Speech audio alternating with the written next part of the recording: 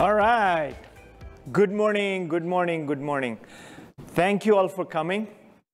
And, uh, you know, I know the events team set us up this way. Uh, A, we can spread out. B, you can do all your emails on the table while I'm talking, right? That's the concept. But thank you very much. Uh, special thanks for this audience here who took the time. And I know it's a hard time to travel, you know, especially with uh, restrictions and approvals and all that.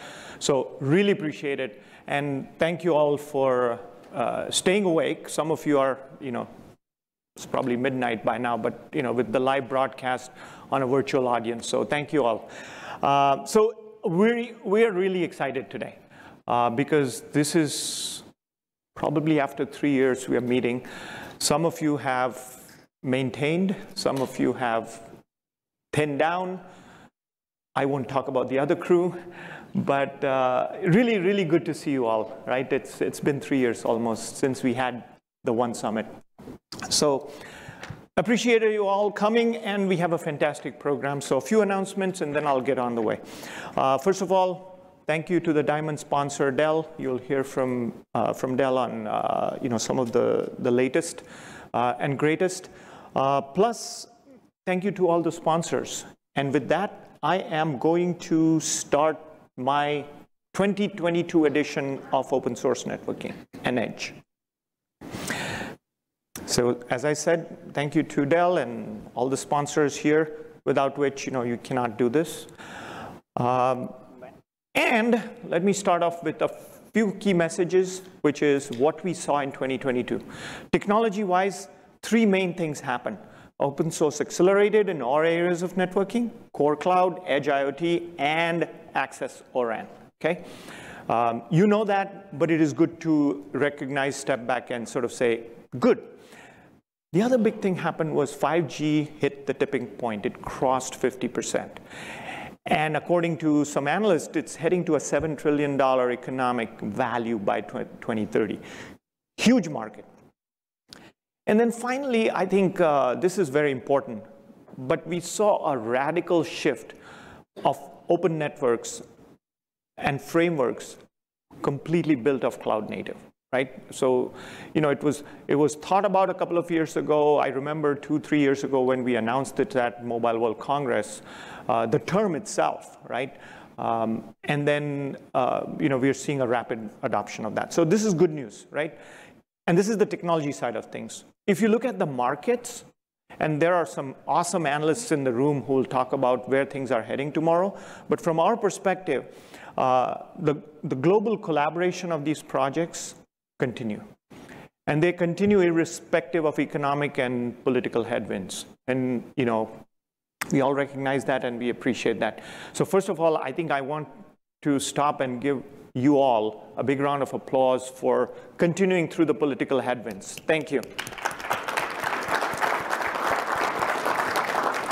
Open source is probably the only uh, area where, uh, you know, I wouldn't say we are not impacted, but we have the ability to just cross borders, boundaries, countries, geo, whatever, right? And that's because it is adding value to build some of the most innovative infrastructure and code that is non-differentiated, obviously. The second big thing that happened this year was public cloud and telecom companies figured out a way to win, have a win-win model, right? Five years ago, three years ago, they were competing, no longer, right? And this is again because of open source, right?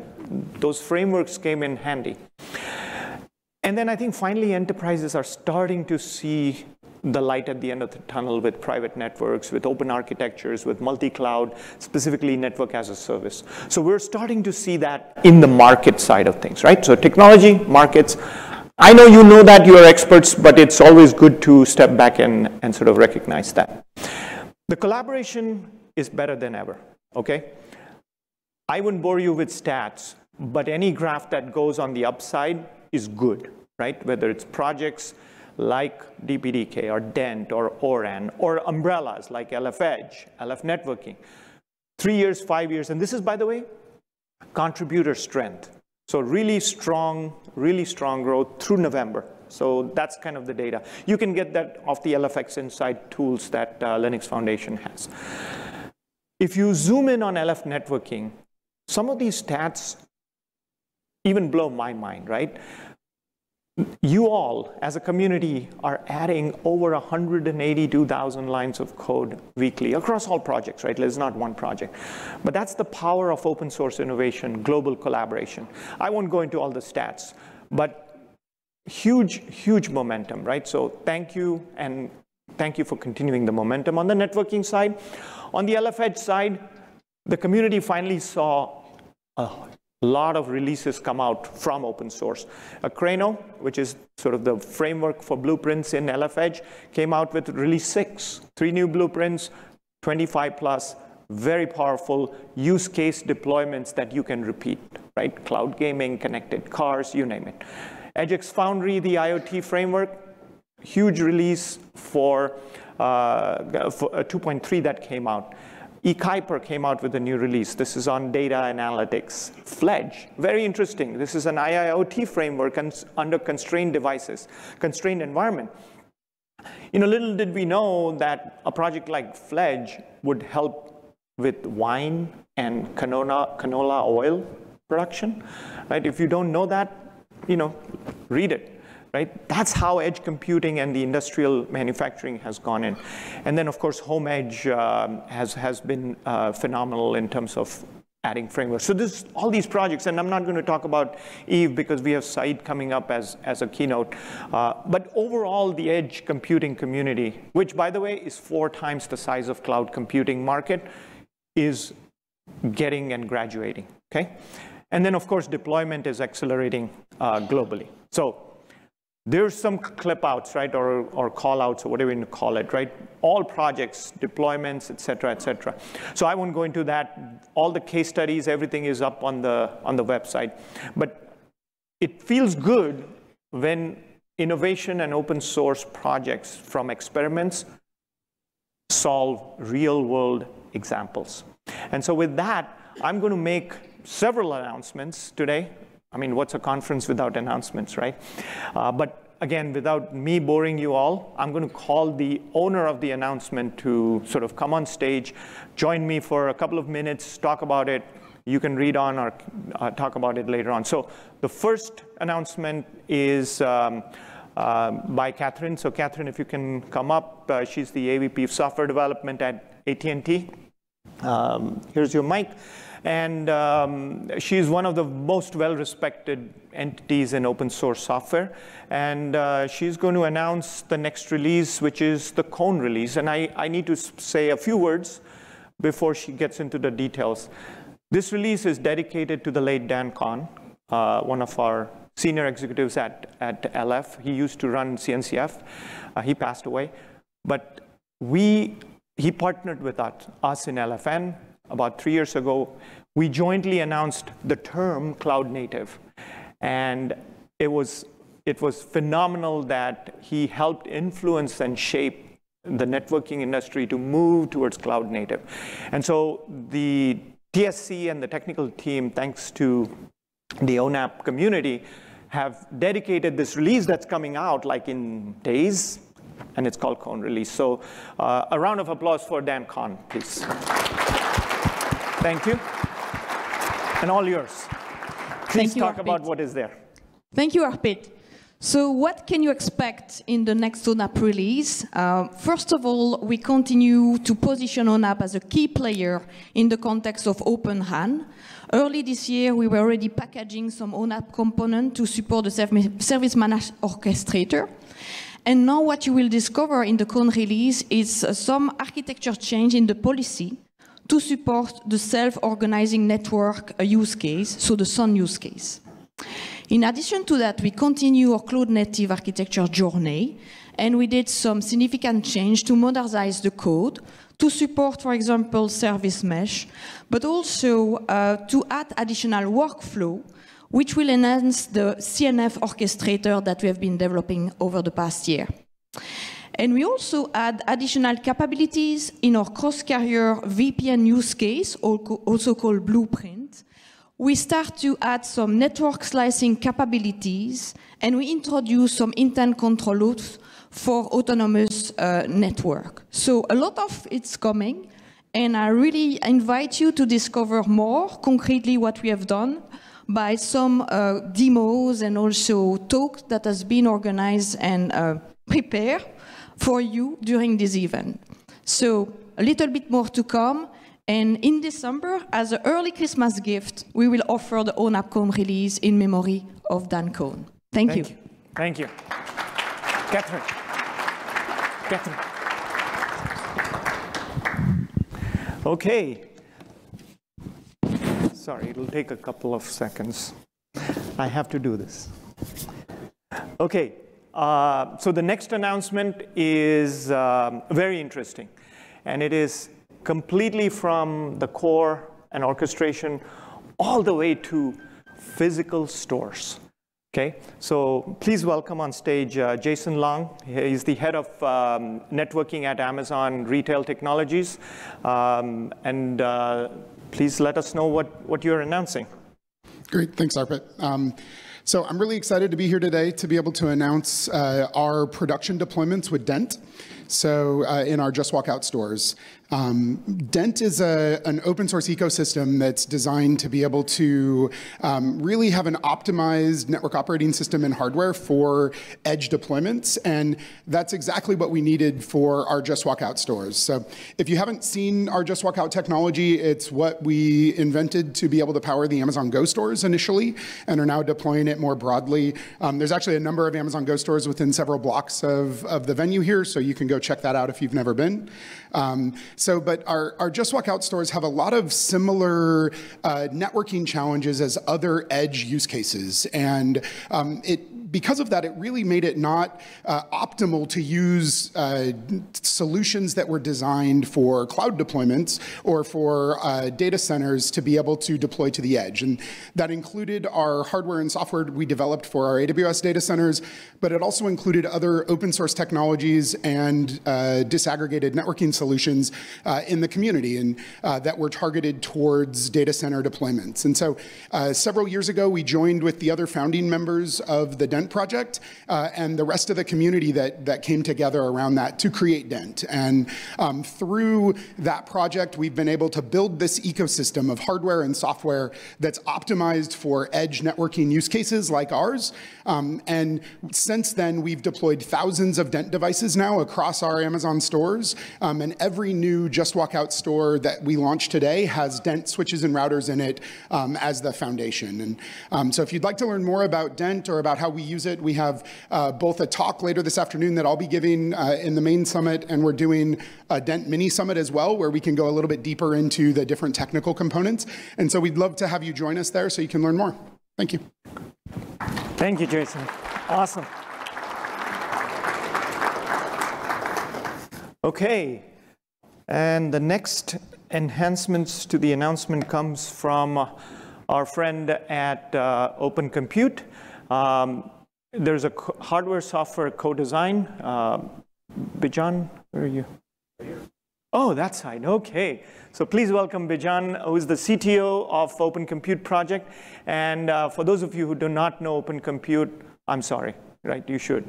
Um, but um, let's, let's talk about um, some of the partnerships and, and what we're doing to do hardware co uh, software co-design. Good morning. Yeah, so uh, 30 seconds on OCP. Uh, we just had a global summit in San Jose. Uh, it was huge. There was a lot of people there, a lot of excitement for open source hardware. Um, we did uh, kick off a lot of interesting initiatives. I encourage you to guys go check out the website at uh, opencompute.org. Um, sorry. Um, and uh, I think, you know, just to kind of you know, frame what we're trying to do here is we did make an announcement at OCP at the Global Summit, and I'll kind of just repeat it here. Um, we've we've been collaborating since 2017 on a lot of different projects at Linux Foundation to OCP, and um, in the past, you know, it's been I mean, it's been great, right? We've, we've had a lot of very successful high energy products or projects like Sonic and and there's, and there's some upcoming ones too. So just from the slides, you could see that we have uh, something coming up called Caliptra, which is a really exciting hardware root of trust project. Uh, that, with the CHIPS Alliance, is going to be pretty big. there's a lot of support in the industry for it. Um, we have a kind of a redevelopment of our edge hardware. We have very popular edge hardware out there. It's uh, uh, probably, if you go to our website, you could search for edge hardware and you'll find it. It's the most searched thing in our website. so uh, edge is pretty hot, our hardware is pretty hot, but we're kind of reinventing it. And one of the things that we're going to do, I'll talk about in a second, is with you guys here at, at, at Linux Foundation. Um, we also have collaborations with CNCF, and we're also into heterogeneous computing, which that means processing multiple types. So we have uh, our RISC-V and our uh, open power uh, communities that are building on with those platforms, and we intend to work with uh, Linux Foundation to kind of make that better. But so the, the meat of the potatoes here is what we have done is in the past, you know, hardware projects have been pretty simple. Um, you start with the problem, you solve it, and it's usually the minimum viable product, right? So you take the, the most simple aspects of it and you solve it and you, you introduce it. Well, in the past, we've worked with Linux Foundation. You guys have come and built software for it. It's been great. To kind of transcend uh, the problems that we have that we're facing now with like Moore's law limitations and things like this, we need to kind of be you know more collaborative. So what we have, what we have announced, what we announced at, at OCP, and what we're kind of um, letting you guys you know kind of know is that we're very excited to do a hardware software co-design. And what that means is we're going to form virtual communities. These virtual communities will have consist of you guys and our hardware guys. We'll get together before there's anything. We'll build a spec, we'll design it, and then we'll go make stuff. So we're really excited about it, as That's you can great. tell. so uh, I'm looking forward to, uh, to working with a lot of you guys and uh, appreciate you guys have a great week. Thank you. Thanks. Thanks, Bijan. All right. Uh, and then uh, we have a few more announcements. Uh, we have Infosys joining as a platinum member. We have Emerson here joining as a premier for LF Edge. We have Marvell joining as a premier member for Sonic. So again, these are just like announcements in a press release, but you know, since we have uh, we have uh, the people here, I just want to focus on those projects. So please welcome Stefan uh, from uh, Orange. Uh, he's the head of architecture there. And he's going to talk about a very new, exciting project that we are announcing. And this is very, very exciting. So go for it. Hello, everybody. as, as you say, I work with, with Orange in the telco part. And um, as we know, the telco cloud uh, ecosystem is really fragmented today, and it slowed down how cloud native transformation, and it's a huge point for us. And uh, we launched that initiative named Sylva uh, to provide an homogeneous telco cloud framework for the entire industry, and it should help the ecosystem uh, to use a common technology uh, which be distributed, secured, and easy to operate. We are initiating this uh, community with seven members, as you can see in the slide, with the main goals are to uh, release the cloud software framework, to develop a, a reference implementation, uh, and to also solve European-specific challenges around the security, uh, energy efficiency, data, and federated edge, and also to provide a validation center to validate network function uh, on top of uh, this, this framework. we are very exciting uh, today uh, to launch this uh, Sylva within the Linux Foundation Europe to leverage on active and innovative open source projects and I take the opportunity today to invite you to participate and to contribute technically on that community project uh, to, uh, to address the hardware needs, uh, the green aspect, the performance monitoring, the lifecycle management, and also take the opportunity to uh, validate your network function on top of uh, this framework to be uh, perhaps easy, to be um, quickly introduce in our network. Thank you very much. Thank you. That's great.